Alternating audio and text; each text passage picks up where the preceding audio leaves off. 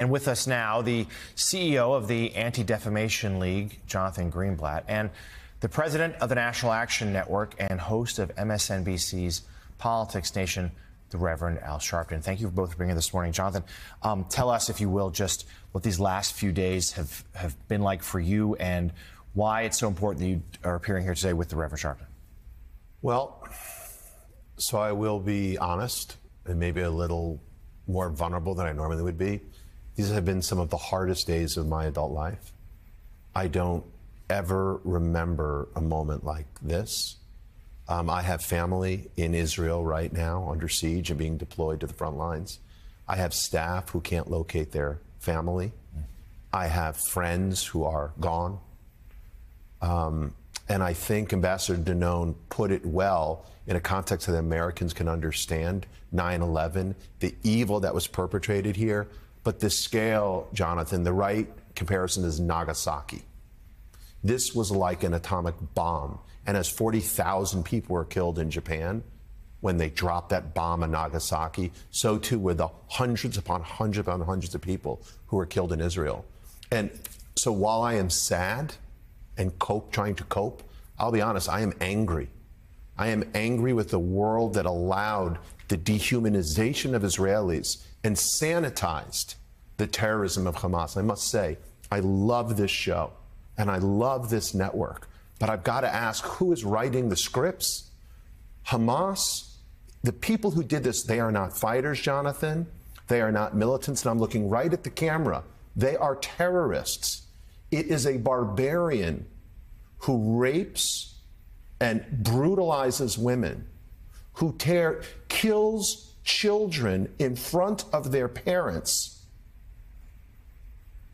and then brings them over to Gaza, who literally, we've heard all these reports, and we know these aren't just reports. These were filmed gleefully by the barbarians who committed these grotesque crimes.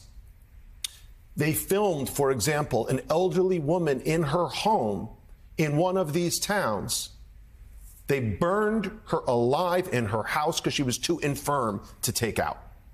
And, you know, parading women bleeding from the crotch because they were raped throughout Gaza while people hoot and holler and cheer.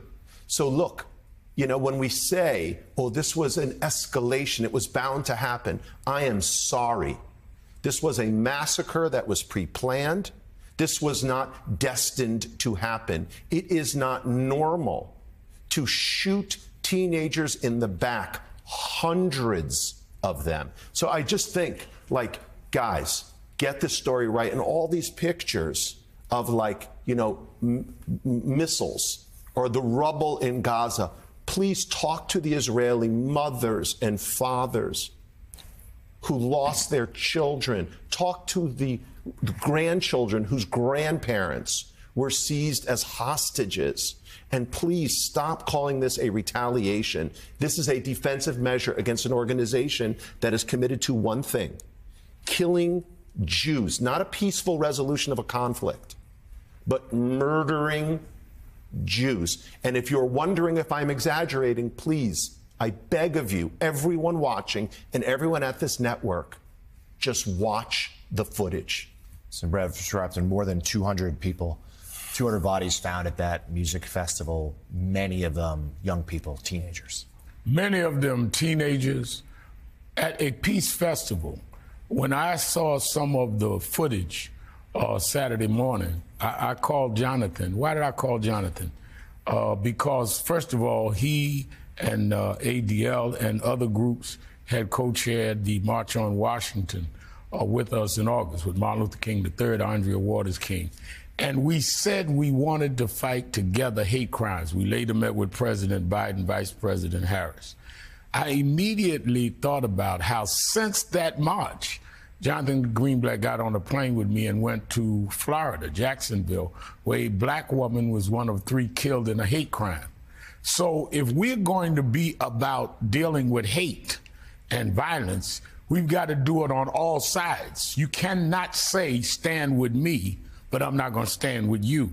And then when I see people marching in Midtown Manhattan with Nazi signs, It's Jews today it's blacks tomorrow. Hitler would have killed all of us. That's right. So for you to come to a uh, rally would not see signs and they not be denounced, you're not talking about an escalation. You are sending a clear signal to us with Nazi signs, which is why many of the civil rights organizations signed with us National Action Network, National Urban League, NAACP, uh, National Negro Women, uh, uh, count all of us denouncing this violence.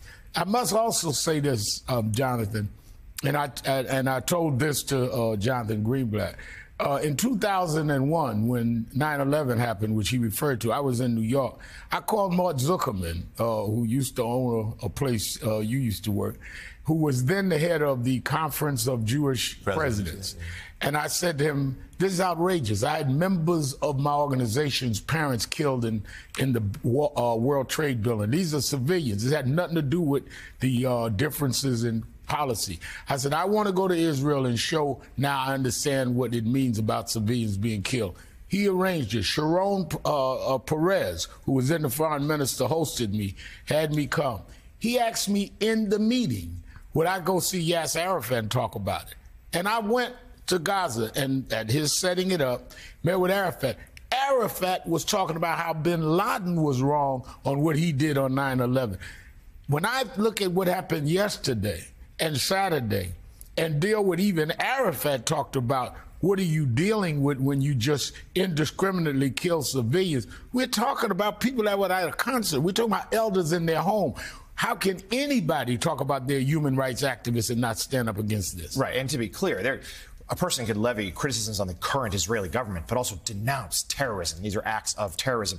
Um, Jonathan, yeah. put this in, in, context for us. Uh, that this that this violence comes amid we have seen we've been on the show so many times a surge of anti-Semitism, I know. both at home and abroad. Yeah, I mean, there's a reason why Jewish people around the world are feeling vulnerable in this moment. Anti-Semitic incidents have reached an all-time high, at least since we've been tracking it for the last 45 years. And so synagogues and offices and people's homes, a kosher supermarket overnight in uh, London was vandalized. So whether it's harassment or vandalism or violence, Jews are feeling a kind of exogenous pressure we haven't seen before. And we know that incidents in the Middle East tend to spark violence here. We saw it in 2021 when Jews were bashed and assaulted in broad daylight in Times Square in West Hollywood, in South Florida, after Hamas previously lobbed missiles at Israel. And so the thing that's so challenging and vexing about this is people are saying, well, could this escalate into a wider war? It is a wider war. This is Al Qaeda, from, from Al Qaeda to ISIS to Hamas. This is what Islamic radicalism, jihadism looks like. Again, it doesn't seek a peaceful resolution of a conflict. This was not some inevitable outcome. This was a pre planned massacre. And how did they send thousands of missiles into Israel? Because they were supplied by Iran. And we will ask those questions. We will wonder about how that failure happened. But I saw David Ignatius whose journalism I so deeply respect and whose reporting I appreciate. And he said, you know, they will look at was this an intelligence failure, a military failure? Jonathan, this was the West's failure. This was our failure for decades to allow Iran and its proxies to dehumanize Zionists and Jews, to allow people to think on college campuses at Harvard, to allow anti Zionism to flourish. We saw this in the 30s legitimate professors, students who came to believe the poison of the Third Reich, who came to think that in the wake of World War I, the Jews had literally abandoned Germany. And remember what, what, Hitler said it's the Jews who caused their own misfortune. Now we have Palestinian Hamas apologists and their acolytes here in the West, their accomplices. Jonathan saying Israel brought this on, blaming the victim while we're still collecting the bodies is as disgraceful and as dishonorable a thing as I could ever imagine. The last thing I'll say, and I'm so sorry, but I, I don't ever remember feeling like this before, is that the idea, the notion that somehow this peace, this rapprochement with Saudi Arabia, the, they were trying to disrupt it, I think there's some truth to that. But let's be clear, that was a path to peace working out a deal that could have given the Palestinians the, and the Israelis the confidence to make a deal with the Palestinians. Terror reinforces terror reinforces the conflict because that's what these these barbarians want. We've got to stand up against them every time. Katty Kay. Jonathan, um, there are reports coming out that this operation may have been two years in the planning. Mm-hmm. Uh, Axios has a story this morning that uh, Hamas had even built a mock of an Israeli settlement inside Gaza and was using it to train in. I mean, the level of sophistication of the planning seems to be extraordinary. What does this do to Israelis' sense of security? Because there had, over the last few years, I think Israelis had developed a sense of believing that between Mossad and the IDF and the security services, they were well protected, that they um, that they had a force that they could rely on to know what was happening in the region. Do you think this disrupts that sense of security in their own forces? Well, a few things. So, number one, this didn't start two years ago, Katty. It started in 1979 with the Islamic Revolution in Iran. That made destroying Israel, that was one of Khomeini's precepts. So let's just start there. After the peace treaty with Egypt, the Islamic Revolution was founded in part to reclaim all of historic Palestine. So it started in 79, the planning. Number because again, Hamas is Iran. Let's get that right. Number one. Number two, if they were training, it wasn't on a mock Israeli settlement, Katty. It was an Israeli town where boys and girls played in playgrounds, where mothers and daughters brought their children to school, where people worked and lived. It was a town, not a settlement. Because to Hamas, all of Israel is a settlement. Okay? And then, thirdly, will this hurt Israeli sense of, um, if you will, security? Israel is a country like any other. You can only build walls that are so high. None of them can be impregnable. So, yes, I'm sure that Israelis will be concerned about how do we def- defend ourselves. But I will tell you this the resolve and strength of Israel and the Jewish people. Hamas, ha- you know, excuse me, Gaza is not now under siege. Israel has been under siege for 75 years. Some would say the Jewish people for 2,000 years. Our resolve is unbreakable and we will face this down. The Israelis will face this down with the ferocity this situation merits.